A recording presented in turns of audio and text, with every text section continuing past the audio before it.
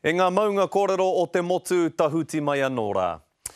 Tērā te patanga nui o ngā whakarerekētanga ki ngā ture kai whakapōauau ki ngā Māori kua mauheretia mō te takahi iti noa nei i aua ture rā. Heoi, ehara i te mea he ngāwari noa iho te kimi rongoā mō ngā raruraru ka hua ake i te whakamāngina, arā, i te tarutaru, ā, ko ia tā Tahuri Tūmoana i rakorako ake ai, Nōna i te Tai Tokerau. Nā, kia mōhio mai koutou he mea huna ngā kanohi o ētahi i kōrero āmiki atu ki a ia, kei patua, kei whakahāweatia rānei.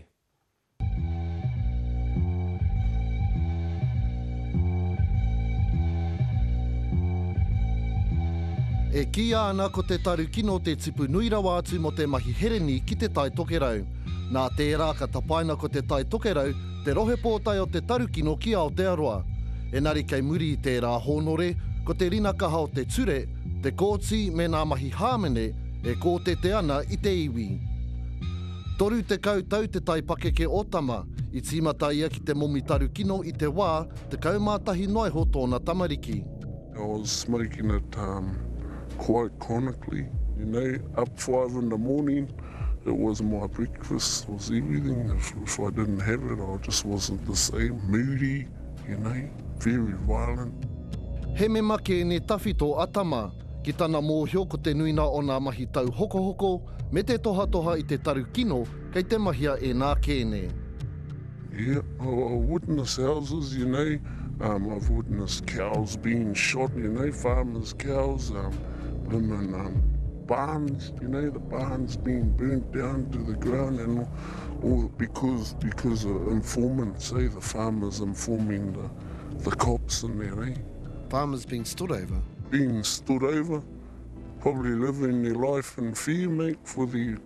the family, you know, and and not only that, the the daily life.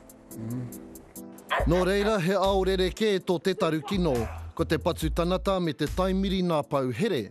Ko te mahi a nā Pirihimana me nā kaiwhakatō, he whakataetae kia kitea ko wai ka tae atu tuatahi ki te hauhake. When you look at the statistics from around nationally from this whole like cannabis recovery operations, We are way above anyone, any other district in cannabis recovery, so we do know that up here they do grow a lot of plants. Ia tau, tata ki te 35 mano ngā tipu ka tīpakohia e ngā pirihimana. Ko te uara kei ngā hia miriona tāra, nā rātou te whakaae kia whai atu mātou i a rātou. How serious is this?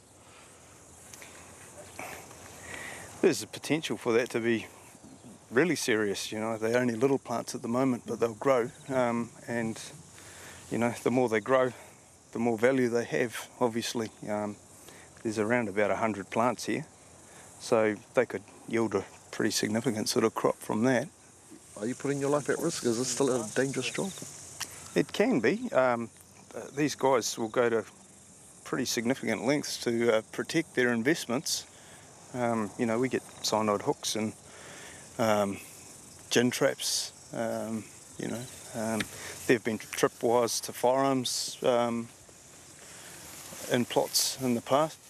Been in the police 20 years, and I've done years and years of drug operations, and we do seem to, well up north. It's it's it's a large Maori population anyway, And we do seem to arrest and charge quite a high proportion of Maori. They seem to live in these areas, a lot of it's on Maori land. So yeah, so there certainly is certainly a higher proportion. Kei kai taea ki te hiku o te ika te rātona hauora o te korowai. Ko Ricky Hooton me tana tira, nā kai hāpai i nā whānau o Te Tai Tokerau, kua whiua ki rahaki. If you were to ask anybody in the street, uh, do they think uh, marijuana is uh, a problem in this community, uh, I'm sure 99% of them will say it's not the marijuana. Uh, it's, it's, it's the other drugs. It's a combination of all the multiple complex issues that our families have told us that they use marijuana as a well, marijuana as a uh, uh, an opportunity to uh, stun the hurt, the harm, and some of the hopelessness that they feel. Um, they use it as a way of numbing it They use it as a way to help arise above their chronic mourning, their frustration and the hopelessness that they feel. Ko te ronoa a te Kāwanatana mō te taru kino he ture aukati me te mauhere i te huna e raweke ana i tēnei taimiri. Ki te mau koe e pupuri ana i te taru kino, ka mauheretia koe. There is a myth. And the myth is, is that if you go to prison, you're going to come out reformed. Once our young men hop onto that conveyor belt, they're just cow fodder. They just go along the production line and they get processed and there is no hope for them. Kua matua mōhio a Hone ki te tikanga o tērā āhua. Ko ia anake te mātua o ana tamariki, kua 40 tau tōna pakeke. Kāti 17 ōna tau i te wā i raweke tuatahi ia i te taru kino. Hei tāna kāre ia i paku mōhio ki ngā hapa o te taru kino. I was out one day and I come home and the police were in my house and they'd found Um, they'd found a little bit of cannabis oil on a spoon and they said that's manufacturing times one. They found a little bit of cannabis oil on a uh, razor blade. They said that's manufacturing times two. They found a little bit of oil on a bowl. They said that's manufacturing times three. And they found a lot of caps, so they said that was possession to supply. I says, what's manufacturing mean? And they said, um, that's,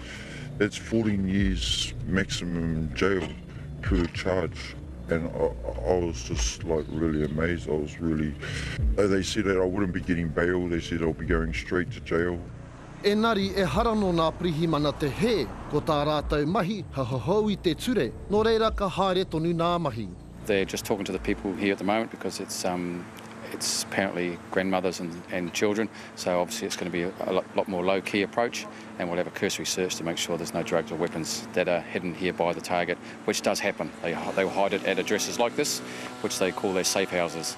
Ahakoa kāre i kitea i tēnei wā, kei reira te nānara e huna ana. Kia hoki mai mātou a te roa ana ake o te rā. Mēnā kei te raru te hāpori o Te Tai Tokerau ki ngā mahi tarukino, E kore e aro i te koro matua o te hiku o te ika. So do you think that cannabis up north is a problem? Well, possibly, but again that's the demographic thing. In some ways if you ask me what is the most corrosive drug up here, it's definitely welfare. I mean, families get stuck on that for three generations. I've never heard anyone stuck on cannabis for three generations. Kua puta e te Kōmihana Rōia tō rātou pūrono kia whakarerekēhia nā ture a te Kōti. Anei ētahi o nā whakatau. Kia whakatūhia tētahi kōti taimiri mō te huna mauhere, kia āhei te huna katahi anō ka taka ki te hē, te haere ki tētahi whare tūroro, me te whakatau i te mana hāmene a nā Pirihimana. Mēnā ka whakatinanahia nā tonoa te Kōmihana, ka kitea te heke o te tokomaha o te huna e mauhere ana mō ā rātou hapa. He āhua e ngākau nuitia ana e Te Tai Tokerau. Incarcerating people for having marijuana strikes me as madness really.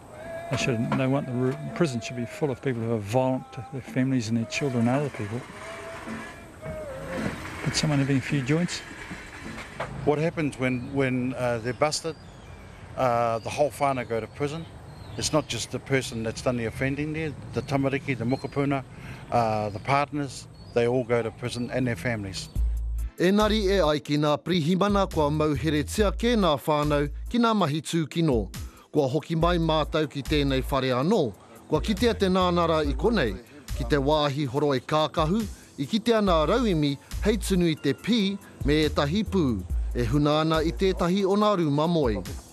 When you've got drugs and firearms mixed together, it's the wrong type of mix for us. It comes hand in hand with pī these days and that just basically just shows and justifies the reason we do use AOS members to gain entry into some houses. Family members um, stick together. Um, they know sometimes what the uh, other family members are up to, but try to uh, choose to turn a blind eye. Um, but as you can see from the, the backyard, there's, there's young children at this address, which are going to feel the effects of these chemicals without a doubt.